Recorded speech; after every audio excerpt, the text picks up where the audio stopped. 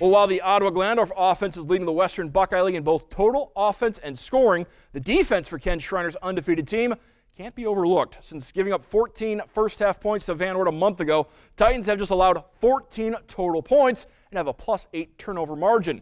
OG at home for Kenton. Wildcats also winning games with their defense, allowing just a single touchdown in each of their last three games. This, of course, one of our broadcast games uh, this weekend. You can see this one coming up at tonight. Kenton hoping for the road victory. First quarter, OG driving, though. Zach Unterbrink finds Zach Kuhlman, makes the move, and finally brought down inside. Hey, down in front! Brought down inside the 10 yard line. OG looking to get into the end zone.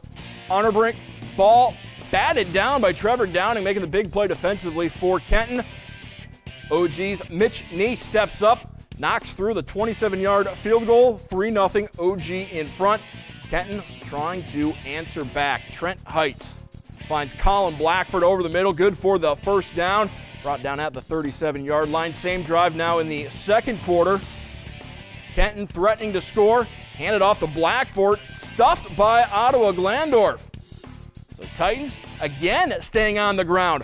Colin Stoller bounces outside, waltzes into the end zone, 7-3 Kenton at the half, and Kenton goes on to pick up an impressive road victory over the third-ranked team in the state, 28-3 the final score.